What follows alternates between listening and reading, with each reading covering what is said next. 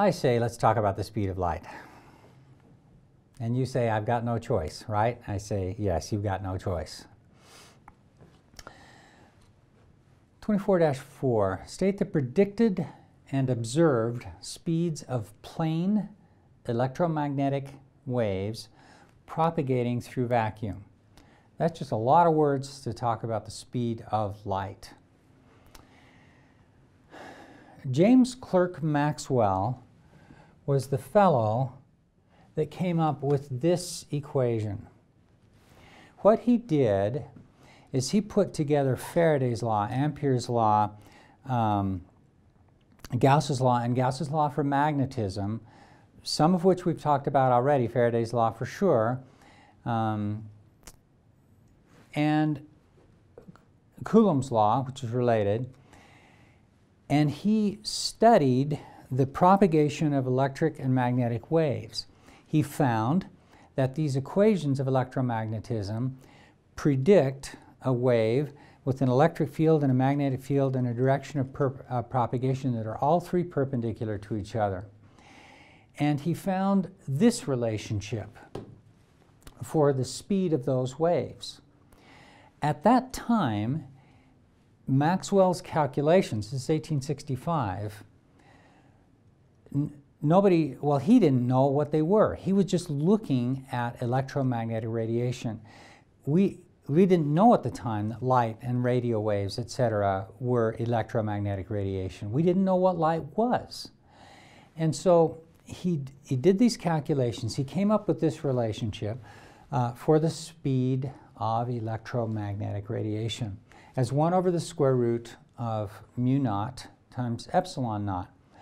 Well, these are both um, parameters, quantities that you know about already. Mu naught, well, epsilon naught is 1 over 4 pi k. So if you put a 1 over 4 pi k in here, the 1 stays in the denominator, and the square root of 4 pi k ends up in the, in the numerator. So that's our epsilon naught that ended up as a, as a 1 over 4 pi k. Well, we can plug in the numbers. Uh, 4 pi, there's the 4 pi here. k is about 9 times 10 to the 9. That's that Coulomb force constant, constant, which is one of the very first constants that we learned this semester. 9 times 10 to the 9 newton meter squared per Coulomb squared. And then mu naught. 4 pi times 10 to the minus 7 Tesla meters per amp. Well, what do we get? The 4 pi's cancel. We get 8.99, which is about 9. We get uh, 10 to the 9 over 10 to the minus 7. Well, the 10 to the minus 7 in the denominator becomes a 10 to the 7 when you put it up in the numerator. So we'll have a 10 to the 9 plus 7, and that's 10 to the 16. So we got a number that's around 9, and we got 10 to the 16. And the units, if you put all these units together, you end up with meters squared per second squared under the, uh, under the square root. So when you take the square root of meters squared per second squared, you're going to get meters per second. When you take uh, the square root of a number that's around 9, you get a number that's around 3. And you take the square root of 10 to the 16, that's 10 to the 16 raised to the 1 half power, that'll be 10 to the 8. So it's 3 times 10 to the 8 meters per second. At that time, there had been some rudimentary measurements of the speed of light. And this is what Maxwell said when he finished this calculation of electromagnetic radiation, which was not known at the time to be related to light. And he compared the predictions of his calculation with the rudimentary measurements of the speed of light from that time. And Maxwell said this velocity is so nearly that of light that it seems we have strong reason to conclude that light itself, including radiant heat and other radiations, if any, he didn't know about gamma rays or X rays, um, is an electromagnetic disturbance in the form of waves propagated through the electromagnetic field according to electromagnetic laws. And then in 1988, Heinrich Hertz did some measurements that confirmed Maxwell's conclusions. So this is one of the greatest triumphs of early physics, to compare this theoretical calculation with actual measurements and then understand something that had been a part of Maxwell and Heinrich Hertz's lives and everybody else's life. Everybody knows about light, but suddenly now they understand it better. They know that it, it's made of electric and magnetic fields and propagates according to electromagnetic laws. About how many times faster is the speed of light when compared to the speed of sound? Well, what's the speed of light? It's 3.00 times 10 to the 8 meters per second. What about sound? About 344, 343, 344, depending on the temperature, humidity, etc., meters per second. Well, what's the ratio of those two, c over v? Let's just call this 300 meters per second to make the numbers a little bit easier. 3 times 10 to the 8 meters per second divided by, let's just say, 300 meters per second. Well, the 3's cancel. We get 10 to the 8 divided by 10 to the 2. 100 is 10 to the 2. So that's 10 to the 6. The ratio is about 10 to the 6. So that's 10 to the 6 is a million. And so about a million times faster. That's why, as we talked about before, the, the, the visible lightning arrives much quicker than the audible thunder when there's uh, lightning in the air. All right, diffraction of AM and FM radio waves. This goes back to uh, chapters 16 and 17 where we talked about diffraction of sound waves. Light waves are, are waves too. Do they have diffraction characteristics? Well, we remember, we, you might remember that sound waves diffract when their wavelength is large compared with the opening or the obstacles that you're talking about. Let's look at light. Well, sound waves have wavelengths that are of the order of meters and centimeters and that sort of thing. Not so with light. They're like nanometers. And a, a nano, so for example, green light, well, let's just look at red light, 700 um, nanometers uh, is 700 times 10 to the minus 9 meters. That's very small. Um, so KUSU is an FM station. It broadcasts at 91.5 on the FM dial. What, what FM dials read is megahertz. What's a mega? 10 to the 6.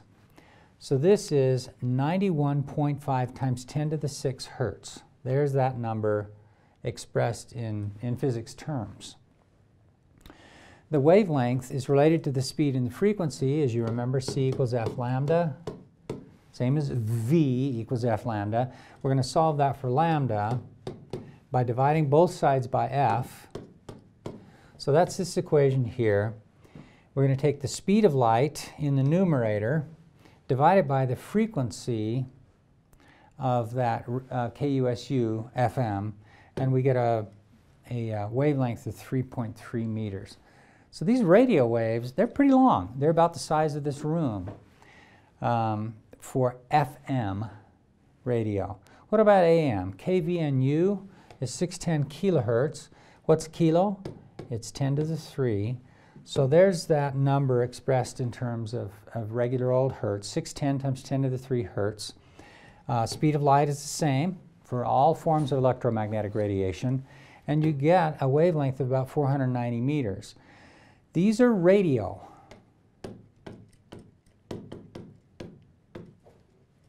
Radio waves. Visible, much, much smaller. Uh, ultraviolet, even smaller, etc. But these are pretty large.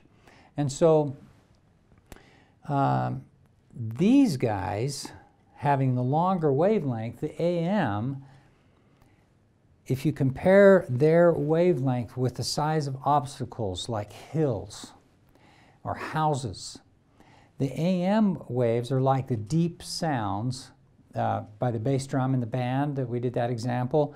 They're like the long wavelength sounds. They can get around obstacles better than the, than the FM sounds. So these guys, uh, AM, get, get around obstacles better. Um, and therefore, AM signals are able to broadcast over longer distances. They're also easier to decode. The, the coding of AM and FM is, is different. Um, but FM signals are less susceptible, to, less susceptible to noise and give higher quality sound. So um, we still use both AM and FM in our world today. Uh, FM don't quite go quite as far, but have a little bit higher quality signal. All right. How far does light travel in one nanosecond? The answer is one light nanosecond. It's this distance right here. What do I mean by that?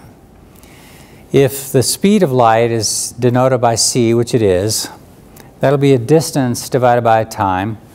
If you solve this equation for the distance, the distance will be the speed times the time. Speed of light is approximately 3 times 10 to the 8 meters per second. 1 nanosecond is 1 times 10 to the minus 9 seconds. And let me get that in our brains. That is 1 billionth of a second. That's a very, very short amount of time. If you multiply those two numbers together, you get a 3 out in front.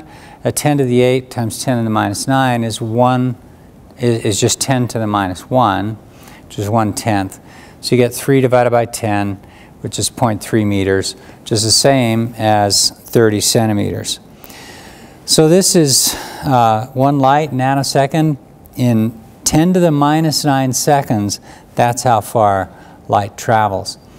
But if you take it up to length and uh, up to scales which we're a little bit more familiar, and you look at how far light travels in one second, then you can easily work out that the light will go around, if you had enough mirrors, the light would go around the world seven times in one second. Looking back in time, let's talk about um, a supernova explosion that occurred in the Tarantula Nebula. It's, it's fairly near to the Earth. It's uh, distance 1.66 times 10 to the 21 meters in the Large Magellanic Cloud, as I remember. It might be the small one. But it's uh, a nearby dwarf galaxy to us. And the question is, why do astronomers say that viewing an event like this is like looking back in time? So there was a, a star that, that burst in that cloud. It was 10 or 20 years ago, as I remember, and that star uh, rivaled in brightness the entire uh, brightness of the galaxy. And so um, we'd like to know how long ago that occurred compared to when the light arrived at, at, at us here at Earth. Well, the distance is uh, the speed times the time. We can solve that for the time by dividing through by c. So the time is just the distance divided by the speed of light. The distance we're given is this one, speed of light we know. Plug in the numbers and you get this number of seconds. That's a lot of seconds. So let's convert that into to years. One year is uh, 365 days, one day is 24 hours, one hour is 60 minutes, one minute is 60 seconds. If you do all the cancellations, then you get an answer, and this second cancels this second here, you get an answer in years of 175,000 years ago. So when that event was, was seen, if, if 10 years back or whenever it was, the individuals who saw that event through their telescopes were seeing the event that actually had occurred 175,000 years earlier.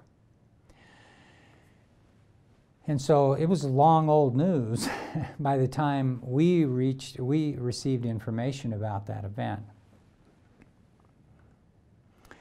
The um, Andromeda Galaxy is the nearest uh, large galaxy to us. it's in many respects, as far as we know, very, very similar to our own Milky Way galaxy. It's 2.5 million light years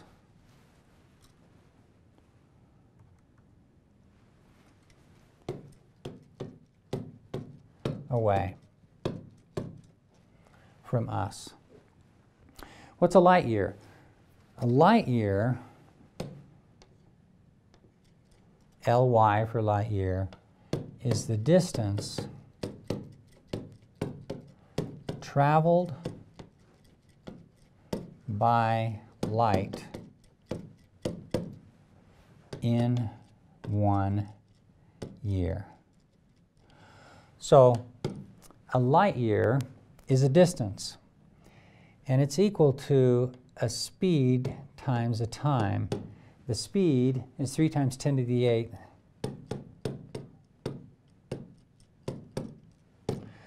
The time is one year. And so what you can do to find the distance in meters, you can work it out, is convert the year to seconds, the same kind of conversion we did in the last slide, and that will give you the distance in meters. It's such a fantastically large number that I never remember what it is. It's about uh, six, as I remember, about six trillion miles. And um, this object, the Andromeda Galaxy, is 2.5 million light years away. So when we view the Andromeda Galaxy, we are seeing it as it existed 2.5 million years ago. That's amazing, especially given that you can actually see this galaxy with your naked eye. Far and away, the Andromeda Galaxy is the most distant object that you can see with your naked eye. If I get some of you out on a dark night, I can show it to you. But it's visible in the fall, in the evenings in the fall. So next August, when it's nice and warm, uh, get out with somebody you care about and look for the uh, Andromeda Galaxy. How do you find it? A lot of people know about Cassiopeia. It's a W shape in the sky. Um, so that looks like a W. This part of the, this side of the W is kind of shallow. The deeper part of the W is the one that you want to focus on. I think about that one being a, an arrowhead that points to this star. It's called Beta Andromeda. Andromeda Galaxy uh, connects up with the so-called square of Pegasus. That's another way to help you find it. But this is the easiest way that I know of, where you have uh, these three stars in Cassiopeia that point to this bright star here. Then if you look up uh, and to the left of that bright star, there's a dimmer star. And then the Andromeda Galaxy is about the same distance again. So you go this distance to that smaller star, this distance again, and you see uh, it's easier to see with binoculars, but you can also see it with your naked eye on a clear, dark night. You don't want a full moon. Preferably, no moon is the best time to look for the Andromeda Galaxy.